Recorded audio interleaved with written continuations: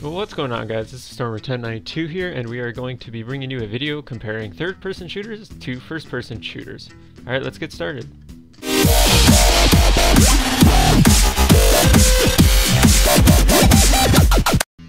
Alright, let's take a look at this first picture. Now, some people may say, oh, well that guy's right in the middle. But look at the two guys on the left and the two guys on the right and how they're using angles to cover their bodies. Now this is important in a shooter because you want to be able to see the angle that you're looking at and you want to be able to line yourself up which is easier in a third person shooter than it is in first person shooter. And why is that? Well look at this picture.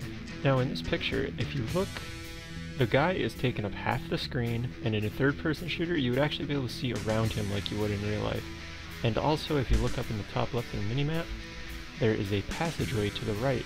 I know this from playing this map actually on Call of Duty 4. There's the barn to the right, and there's a passageway coming down into this creek bed. Now, if you look at the map, you should be able to see at least half of that. Now, in this field of vision he's got here, he cannot see people coming down that path. Now this is another good example why a first-person shooter is not realistic like everyone else says. Now this guy is coming up to this corner, and in real life what you do is you come around the corner, probably with your gun and your eyeballs out of the corner, and that's it. But in first-person shooters you gotta at least expose half your body just to see around the corner. Now look at this picture also. This is a good example of what you would actually somewhat do in real life. And these two guys on the left here, one by the garbage can and one by the boxes. The only thing exposed is their right shoulder maybe, and their gun and their head. Another great example of the limited field of view with first-person shooters is look at this image right here. Right in front, there he's shooting at a guy, and right by that wall, there's two more enemies according to the minimap. Now, can he see them?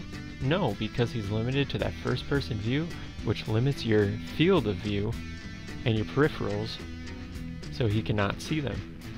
Also, what these first-person games cause with the limited field of view is a very linear storyline. Now, this linear storyline, if you take a look at this photo, you can't go left, you can't go right, you can only go straight. You can't go up, you can't go down, you can't do anything because the only way you can see is straight.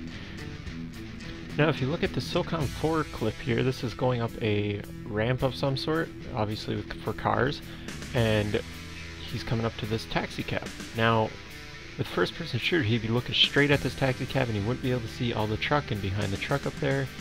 And right where he says eliminate hostiles, he wouldn't be able to see any of that. Now, since this is a third person shooter, he has that extra field of view, vertically and horizontally. He doesn't, he's not really using the horizontal right now, but he's using that vertical to check up around that truck where people love to camp Alright, now let's take a look at this video clip here where we are rushing Red Room on Crossroads.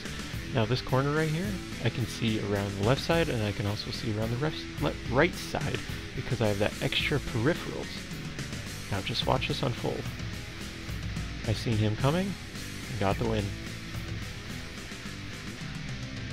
Now with the first person shooter, you wouldn't have seen him come around that corner and you probably would have never won that gunfight. Alright, let's look on how to go around the corner in first person shooter. See how I have to go get this guy and look how exposed I am.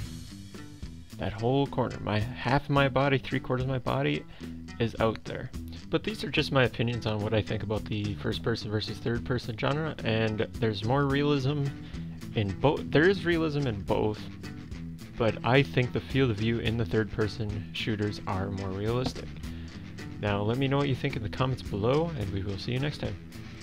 Alright guys, if you enjoyed this video, I got many more to come, and if you want to hit that big subscribe button yet, if you're new to the channel, and to the left we have Battlefield 3 Co-op, and to the right we have my latest SOCOM 3 Let's Play video.